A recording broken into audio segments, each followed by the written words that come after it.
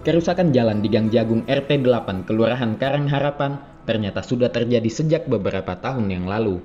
Selain berlubang dan menimbulkan genangan air yang cukup besar dan dalam, jalan yang menjadi akses utama permukiman warga ini juga kerap banjir jika hujan deras. Berbagai langkah antisipasi awal sudah dilakukan warga sekitar, namun lagi-lagi upaya tersebut hanya bersifat sementara.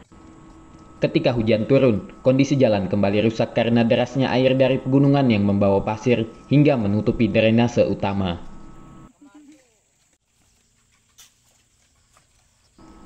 Ketua RT 8, Jumiati mengatakan, dalam peningkatan jalan di RT 8 Kelurahan Karangharapan tersebut perlu ditangani instansi terkait dalam hal ini Dinas PU Tarakan.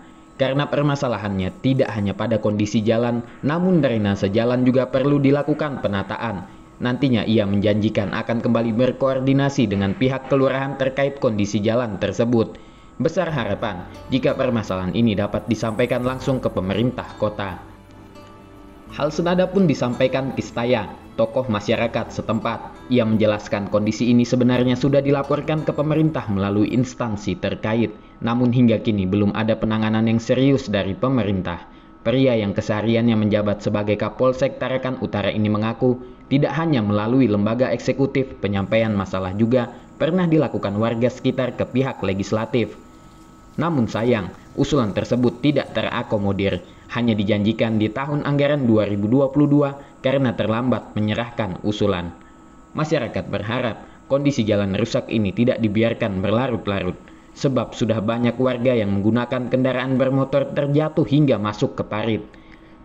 Sambil menunggu upaya pemerintah untuk melakukan pengecoran bahkan pengaspalan seperti yang diharapkan, warga setempat tetap berusaha untuk melakukan langkah penanganan sementara. Salah satunya adalah berupaya untuk mendatangkan alat berat berupa grader untuk meratakan tanah yang berlubang agar tidak menimbulkan kubangan. Uh, usulan mulai legislatif uh, kemarin saya usulkan legislatif cuman uh, dijanjikan 2002 2002 22 uh, uh, karena kemarin itu terlambat penyerahan apa uh, perumahan sini itu khususnya ke Pemkot ini bulan Januari jadi kita terlambat apa Pak langkah sementara?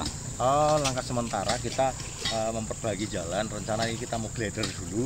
Nanti kita agak bagus dulu karena keluhan ibu-ibu uh, kemarin banyak yang jatuh di sini karena nggak kelihatan jalan antara jalan dengan parit itu sudah nggak kelihatan lagi.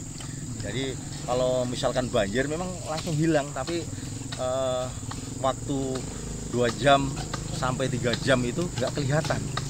Bahkan uh, tertutup sama sekali jadi uh, untuk pemerintah mudah-mudahan diperhatikan dan uh, bisa di uh, dicor di aspal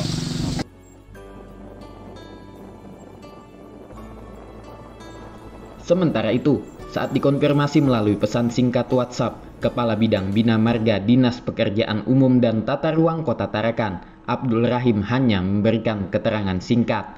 Ia mengaku sudah ada rencana untuk peningkatan jalan di RT 8 Kelurahan Karang Harapan tersebut.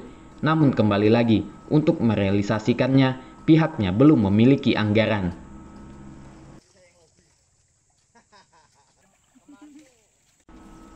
Anton Joy Nahampun dan Januriansyah melaporkan.